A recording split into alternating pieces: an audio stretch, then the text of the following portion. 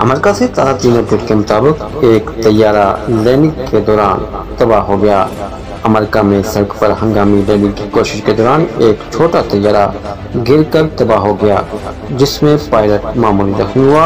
यह वाक़ अमेरिकी रियासत फ्लोरिडा के शहर और लैंडो में पेश आया और इस हादसे की वीडियो इसी सड़क पर मौजूद कार सवार ने बनाई, जो सोशल मीडिया पर वायरल हो गई है।